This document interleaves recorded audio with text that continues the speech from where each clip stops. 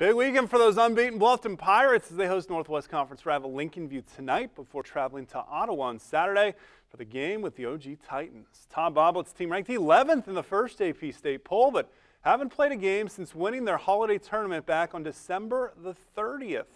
Would they show some rust? How about the future Pirates? Getting to show off their skills during the half. Start with Lincolnview's Justice Dowdy taking to the rim, hitting the shot, falling down. Bluffton's lead 28 14 at this point. Then Levi Kistler, big game for him. Spots up for the triple and lets it fly. 22 to lead all scorers for Levi, but it was Dowdy taking it right back. Showing the range, the big guy. He's got a wing three of his own. Then it is Lincolnview once again. Another three in the three party. Hayden Ludwig this time. But Bluffton would have an answer throughout the night. This time Brent Rumor Gonna hit the glass.